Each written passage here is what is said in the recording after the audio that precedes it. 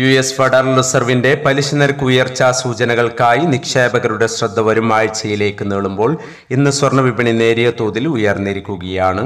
ഇന്നലെ രാവിലെ സ്വർണവില പ്രഖ്യാപിക്കുമ്പോൾ അന്താരാഷ്ട്ര മാർക്കറ്റിൽ ഔൺസിന് ആയിരത്തി തൊള്ളായിരത്തി ഇരുപത് ഡോളറിന്റെ പരിധിയിലായിരുന്ന സ്വർണവില ഇന്നലെ രാത്രി കാര്യമായ മാറ്റങ്ങളില്ലാതെ തുടർന്നിരുന്നുവെങ്കിലും പിന്നീട് നേരിയ തോതിൽ ഉയർന്ന് ആയിരത്തി തൊള്ളായിരത്തി ഇരുപത്തി അഞ്ച് ഡോളറിന്റെ പരിധിയിൽ എത്തി നിൽക്കുകയാണ്.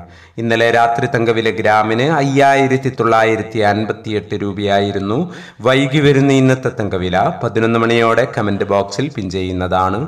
ഒരു ദിവസം പലതവണ മാറിക്കൊണ്ടിരിക്കുന്ന തങ്കവില മാറ്റത്തിനനുസരിച്ച് അപ്ഡേറ്റ് ചെയ്യുന്നതുമാണ്.